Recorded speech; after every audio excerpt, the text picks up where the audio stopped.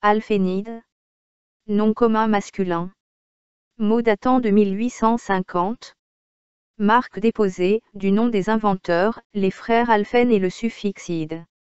Alliage métallique blanc, proche du maillechort et servant surtout à fabriquer des couverts de table.